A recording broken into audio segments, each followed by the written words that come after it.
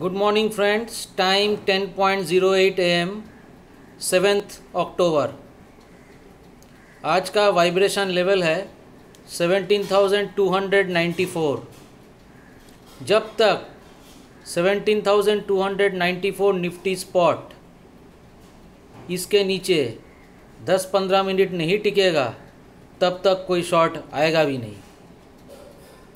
अगर मार्केट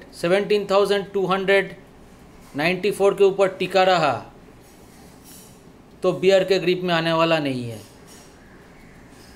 अगर 17,294 के नीचे कॉन्टीन्यूसली चलता रहा तो आपका टारगेट 17,136 निफ्टी स्पॉट आ जाएगा।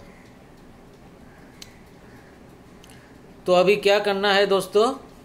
अभी चुपचाप बैठ के देखना है क्योंकि आज का कॉन्फ्यूशन टाइम साढ़े दस से बारह बजे तक का है। कल देखे थे ना? कॉन्फ्यूशन टाइम डेढ़ से तीन बजे क्या हुआ? वही टाइम आज साढ़े दस से बारह बजे में होगा।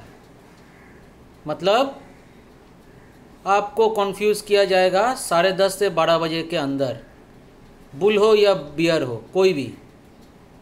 लेकिन हम लोगों को इस कॉन्फ्यूशन में नहीं पड़ना है। हम लोगों को लेवल देख के चलना है। और सेफली काम करना है। आज हफ़्ते का आखिरी दिन है। हो सकता है सोमवार से एक बहुत बड़ी सरप्राइज़ मिले।